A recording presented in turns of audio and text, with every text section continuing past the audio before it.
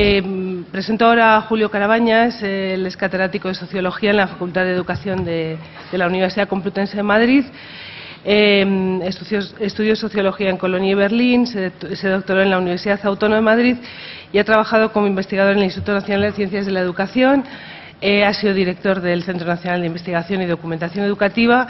tiene numerosísimas publicaciones y actualmente forma o ha formado parte del Consejo de Redacción de varias revistas. Actualmente dirige la revista española de Sociología.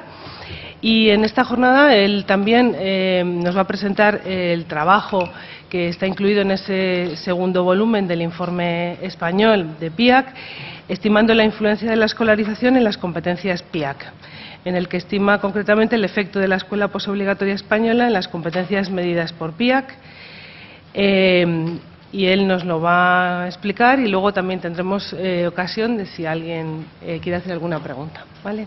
Gracias.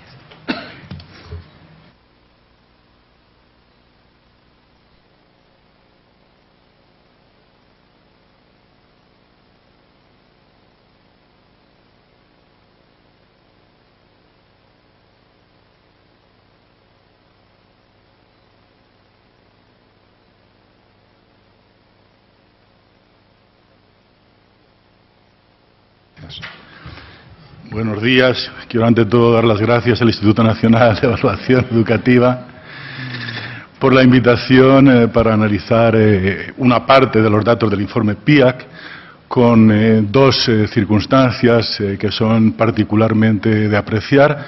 La primera es que los datos los tenemos confidencialmente para hacer estos análisis antes de que se publiquen, con lo cual uno tiene la pequeña excitación de matar el gusanillo de la curiosidad antes que los otros y al mismo tiempo tener que guardar silencio sobre el asunto sin podérselo decir a nadie.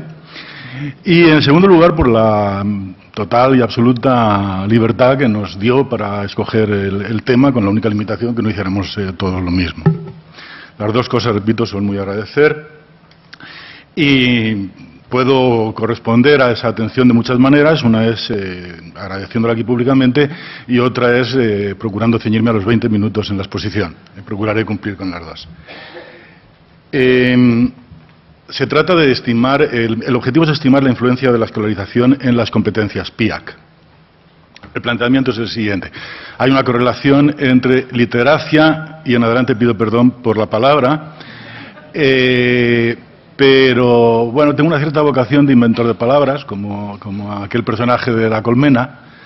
Eh, no tengo mucho éxito hasta ahora, pero pienso que si voy traduciendo del inglés cosas facilitas, que a su vez eh, en el inglés sean adaptaciones del latín, puedo tener más éxito. Y literacia me pareció realmente una. porque no es eh, que uno sea literato, ni que sea letrado, tampoco es alfabetización ¿eh? Podría haber, traducido por alfabetización, pero no es el caso, así que déjenme utilizar literacia, traducción directa del inglés eh, literacy. Eh, y años de estudio. La correlación es alta, entre 0,4 y 0,6 en el mundo. En España, en concreto, aquí en PIAC, pues da 0,56.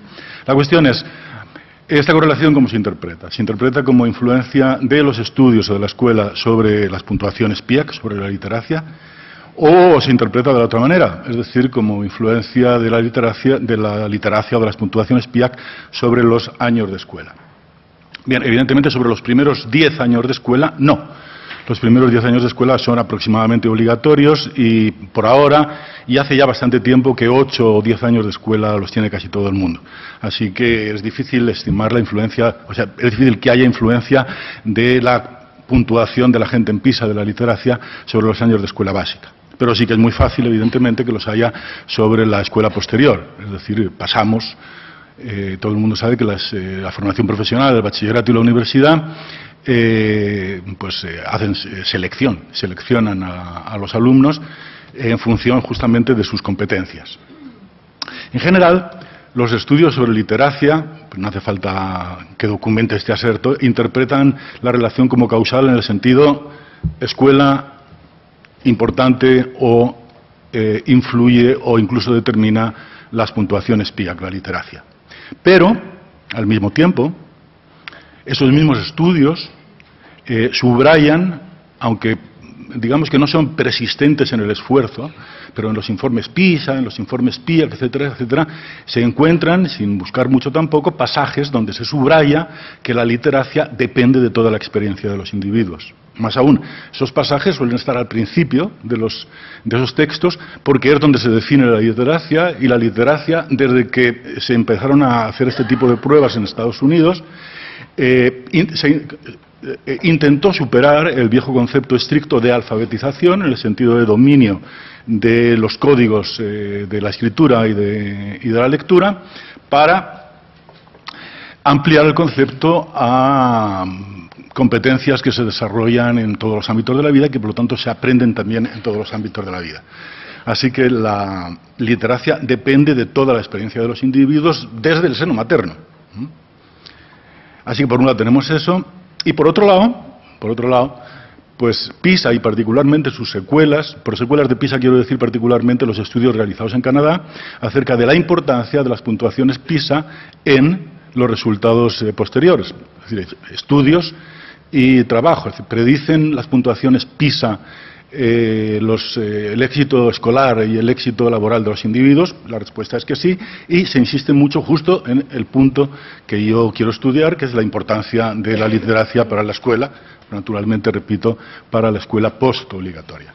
Así que esta es la cuestión. Y la cuestión, pero eh, desglosada, es en qué medida la CLP hemos cambiado CLP es lo mismo que literacia, que, o competencia lectora PIAC.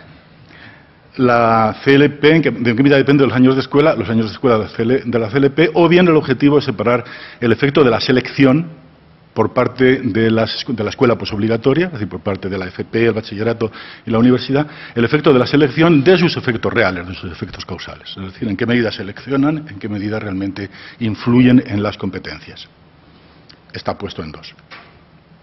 Mi hipótesis es conservadora. La hipótesis es que la escuela tiene efectos decrecientes sobre la CLP o sobre la literacia. Por tanto, que la escuela básica tiene efectos muy importantes, seguramente, pero que la escuela postbásica tiene efectos o pequeños o nulos. ¿De dónde derivo esta hipótesis? Pues de la, literatura o del tradicional y de la abrumadora evidencia sacada de la psicología, en particular de la psicología evolutiva, de los niveles de maduración de la gente, etcétera, etcétera. Es decir, todo el mundo sabe que las facultades en general siguen una curva creciente hasta los 25 o 30 años aproximadamente y luego, como se ha puesto de relieve aquí, pues la sigue decreciente. En este punto, creo que debo subrayar una diferencia muy importante, que es eh, la diferencia entre CLP, competencias de lectura PISA, o literacy, y el resto, y competencias específicas. Para lo cual quizás debo otra vez cambiar el nombre de la literacy y de la CLP y llamarla competencias básicas. ¿Qué mide PISA? ¿Qué mide PIAC? Miden competencias básicas, competencias muy básicas. Y esto lo subraya todo el tiempo los estudios PISA y los autores las pruebas. No medimos contenidos tradicionales, no medimos cosas específicas que se aprendan en las escuelas. Medimos las capacidades básicas que son útiles en todas las situaciones cotidianas. Y medimos competencias básicas. Ahora bien, ¿qué se enseña en la escuela posbásica?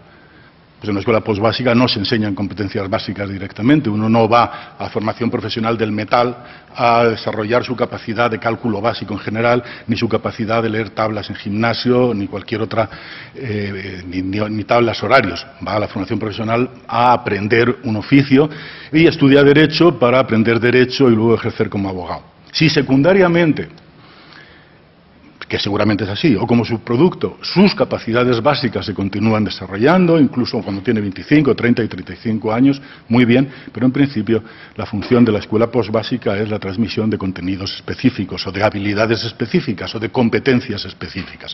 Por cierto, no hay ninguna oposición entre competencia y contenido con general y específico. Hay competencias generales y competencias específicas, y contenidos generales y contenidos específicos.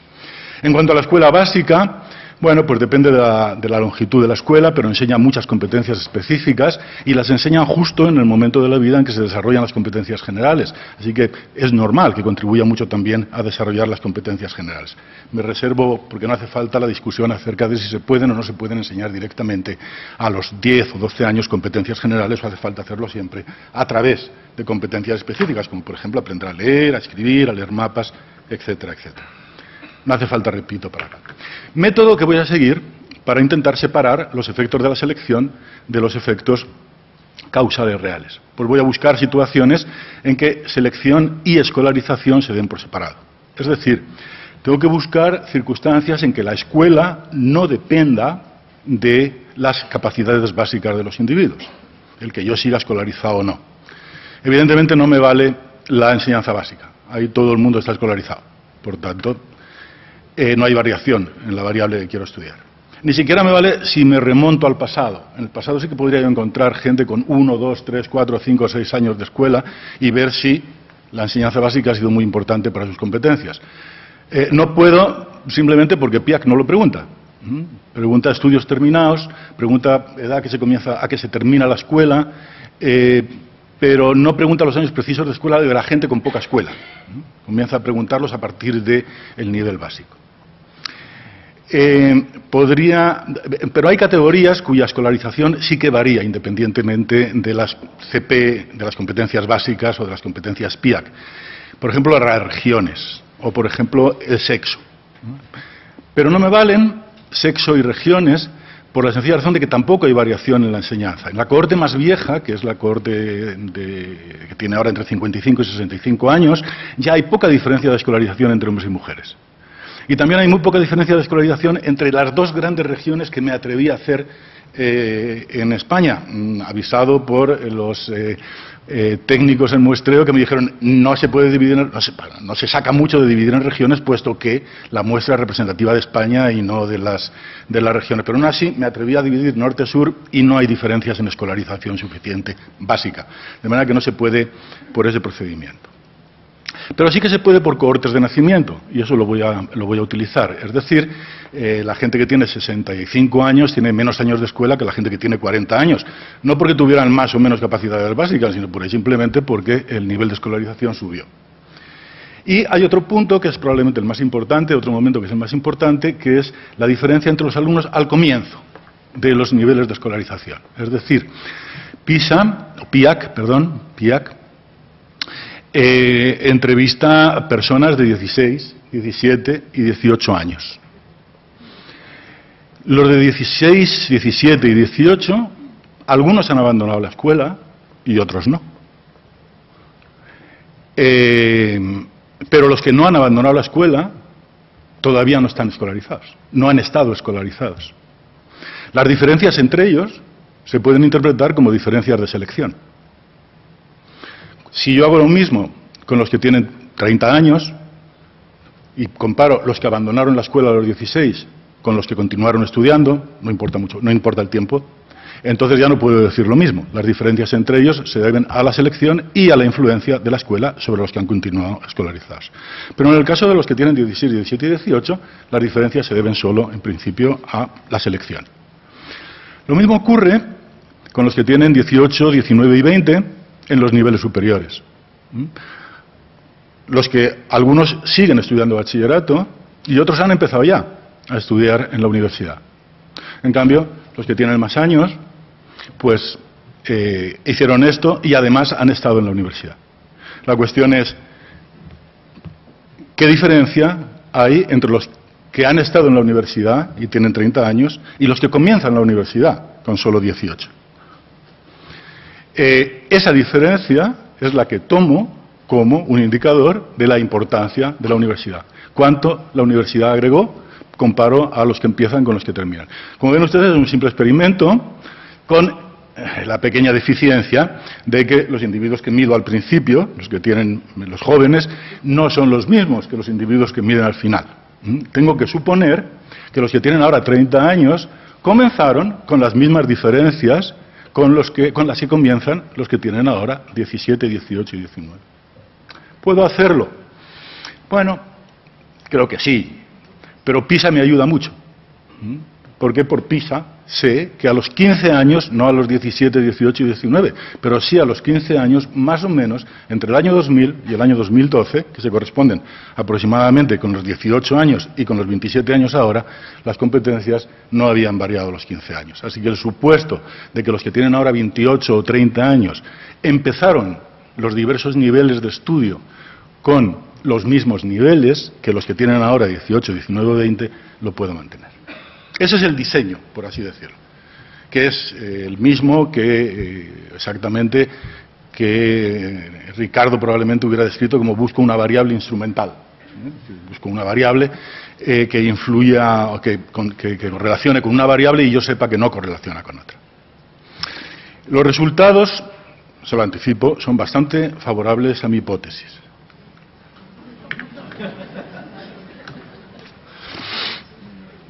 Son estos. Un año de escuela en general, de entre un año de escuela cualquiera, sin distinguir entre básica y media. Bueno, pues con una regresión yo obtengo que cada año de escuela equivalente, que quiere decir eh, año de escuela eficaz, es decir, mm, año de escuela atribuido al nivel de estudios terminado, pues es ocho puntos eh, competencias básicas, o 8 puntos literacy, o 8 puntos CLP.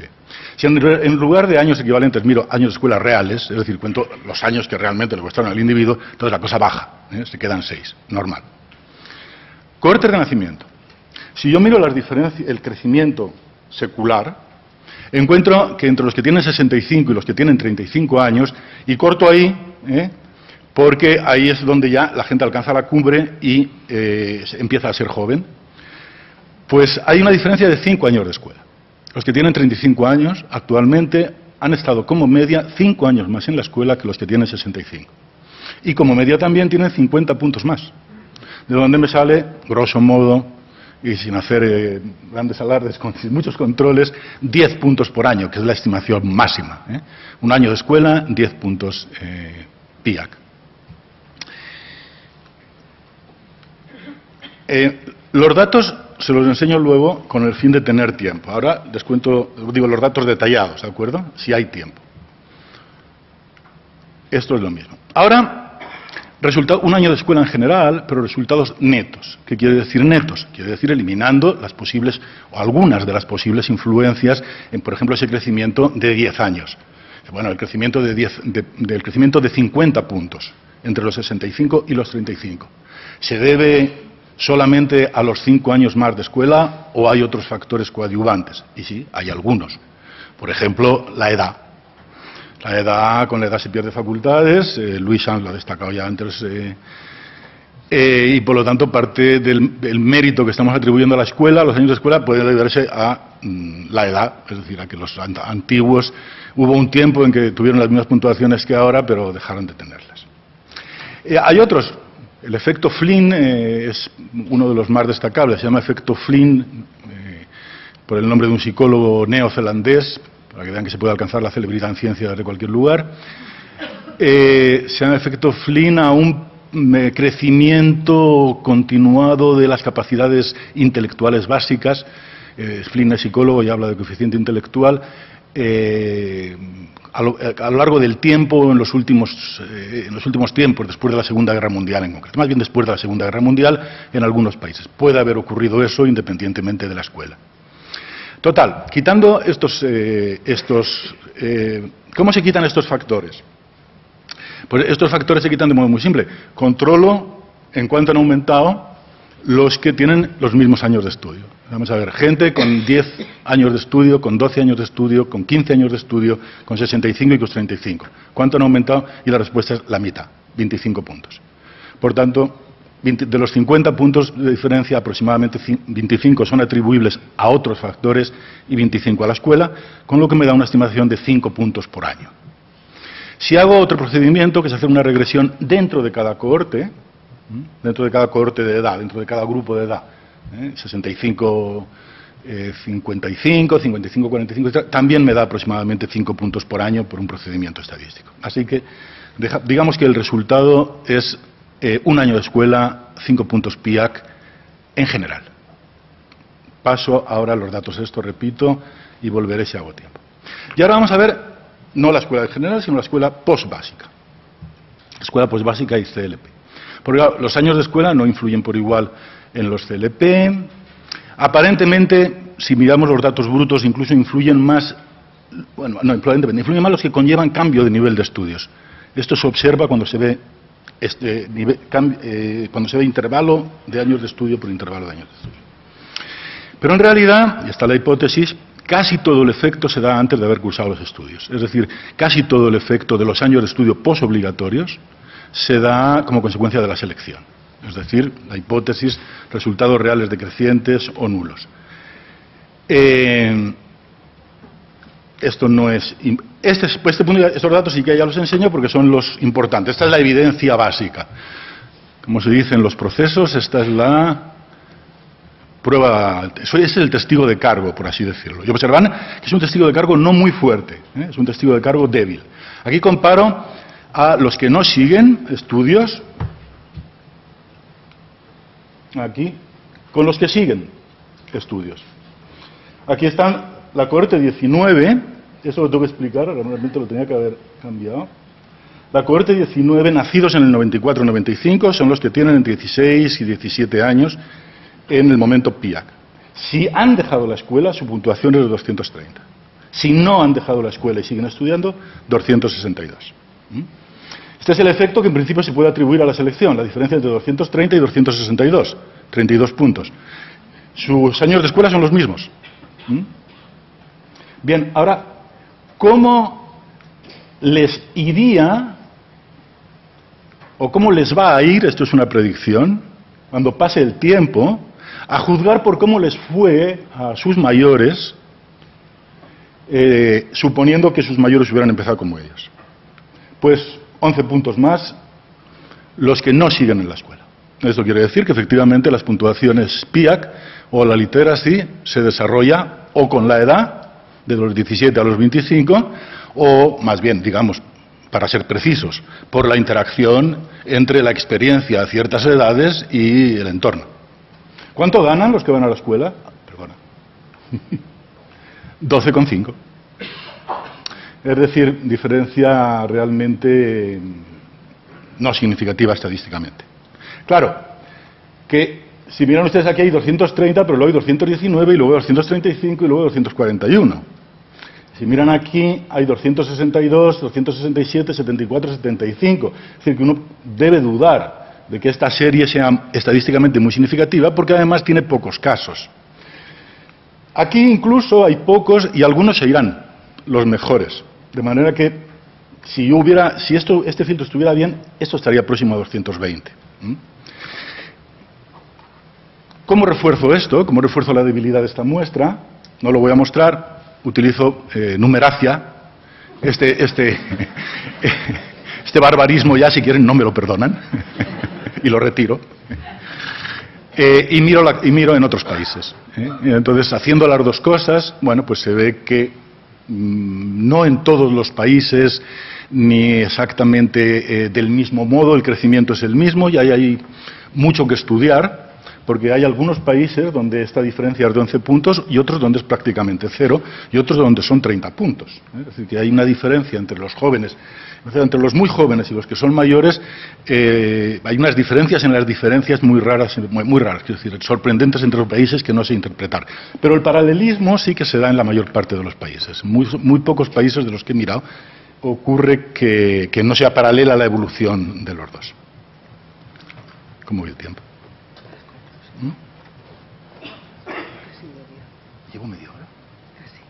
No, pero llevo el tiempo bien. No. Eh, y ahora miramos después, eh, cuando se, ahora comparamos los estudios eh, básicos, el bachillerato, con los estudios universitarios. No, perdón. Bueno, antes hay otra. Separo de entre los que continúan estudios, los que continúan estudios en EGB y los que estudian eh, continúan estudios posteriores. Es decir, parte de los que no abandonan a los 16 años en realidad continúan intentando terminar la ESO. Bien, pues se ve que se puede, si las diferencias fueran, eh, estas muestras fueran muy grandes, se podrían romper una lanza a favor de continuar en la ESO hasta que se titula. Son 15 puntos, pero con las diferencias estas verdaderamente no se puede arriesgar a nada. Pasamos al bachillerato Eh, y entre los que continúan y, no continúan en la EGB, pues unos están en enseñanza secundaria no obligatoria, FP1 bachillerato, están juntos eh, porque son iguales y porque, para fortalecer la muestra, etc. FP2 o ciclo eh, formativo de grado superior, Universidad 1, Universidad 2. Bien, pues tenemos igual. por un lado, aquí tenemos el crecimiento, perdón, el, factor de selección. Factor de selección es 15 puntos, los que se continúan haciendo bachillerato o no terminan nunca bachillerato ¿eh? o no pasan de bachillerato son los de esta columna. Estos son los que pasan a FP2. Selección 15 puntos. Los que pasan a la universidad, selección 19 puntos sobre los de FP2. Y los que pasan a Universidad 2, selección 1,5 puntos. De este dato no hagan caso porque son grados ya. ¿eh? Ya no hay diferencia entre uno.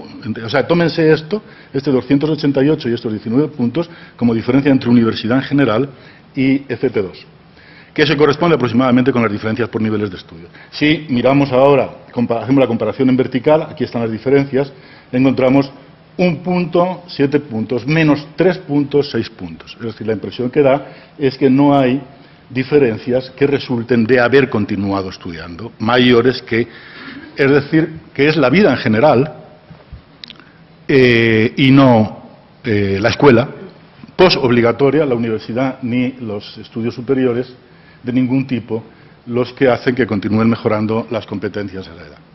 Conclusiones pues otra vez un año cualquiera de escuela, siete puntos, ocho cinco puntos netos, un año de estudios por básicos, eh, esto me he equivocado, entre cero y un punto, por lo tanto, esto, no vale, se ha colado algo ahí, eh, estimación neta entre cero punto y un punto. Es lo mejor que se puede decir, de un punto. Y por lo tanto, los estudios básicos resultarían mejor, porque sería atribuible a los estudios básicos toda la diferencia de eh, un año de escuela a 10 puntos aproximadamente. Aquí salen 7 para todos, bueno, pues podemos, pues todavía son menos, aproximadamente 10 puntos.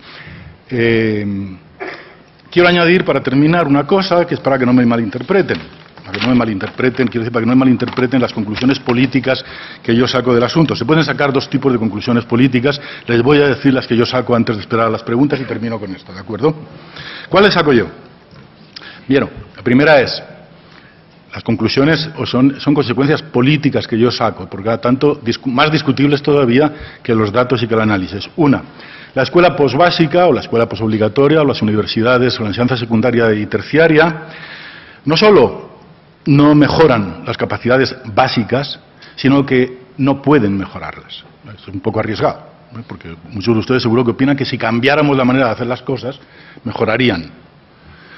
Yo creo que no pueden, que si no lo hacen es porque no pueden, porque no lo hacen ni aquí ni en ninguna parte. Segundo, no solo no pueden, sino que en principio no deben. Repito lo del principio, las escuelas o la enseñanza secundaria y la enseñanza terciaria no está en principio para seguir para seguir, bueno, para mejorar las capacidades básicas de la gente, está para enseñar capacidades específicas. Enseñamos a ser abogados, ingenieros o eh, torneros. Eh, por tanto, cabe decir que, interpretar que la Universidad Española y la enseñanza secundaria española deben esforzarse mucho por mejorar las capacidades específicas de los alumnos y producir mejores ingenieros y mejores eh, abogados pero no, repito, eh, que se deba hacer eso en cuanto a las eh, competencias básicas. Y la otra conclusión política que yo saco es que la escuela mm, postbásica, enseñanza secundaria y terciaria, debe esforzarse en eh, mejorar las competencias específicas de la gente, tanto más cuanto menores son sus capacidades generales. Es bien simple y hay muchas cosas que si uno no las aprende en la escuela, donde le fuerzan, no las va a aprender en la vida donde no lo fuerzan. Así que la escuela es justamente el lugar de aprovechar para insistir en las capacidades específicas, particularmente para aquellos que van a tener menos oportunidades de, mediante formación continua o formación voluntaria de cualquier tipo, eh, mejorarlas en la vida. Eh, por último, quiero decir que doy mucha importancia a las competencias básicas. Lo único es que dudo mucho de la capacidad de los educadores para mejorarlas directamente, como resultado directo. Son, a mi entender, un subproducto incierto de la enseñanza o del aprendizaje de competencias específicas. Pero, por desgracia, eh, me parece muy difícil, mi experiencia, eh, aunque mi educación no es como la de Max Planck, sino al contrario, yo me he estado educando desde que los tres años hasta ahora en la escuela, no he dejado ningún año prácticamente de ir a la escuela, así que eh, aún así mi experiencia escolar me dice que es muy difícil mejorar directamente las competencias básicas. Por lo tanto, conclusión política. Lo que debemos hacer en la escuela, por lo menos en la posbásica, es intentar mejorar las competencias específicas, no las competencias básicas. Hay una conclusión que no quiero dejar de decir y que es más discutible todavía, pero que se deriva evidentemente de lo que he dicho y no quiero que sean ustedes solo los, los que la saquen, y es la siguiente. Ni PIAC ni PISA, ni PIAC ni PISA sirven para evaluar las escuelas sirven para evaluar la calidad educativa en el sentido de desarrollo de competencias básicas de los ambientes generales de los individuos. Y como, PISA mismo y PIAC mismo dice muchas veces, la escuela es una parte de ello. Con esto no estoy haciendo, diciendo nada que no digan PISA y PIAC continuamente. Pero sí digo algo que los informes PISA y los informes PIAC olvidan a continuación, inmediatamente después de haberlo dicho. No se crean ustedes que esto depende solo de la escuela, depende de todo. Y a continuación, como ven ustedes, vamos a aprender de aquellos países que tienen éxito. Vamos a ver lo que pasa en las escuelas finlandesas. Pues hay una incongruencia, evidentemente. Muchas gracias por su atención y perdón por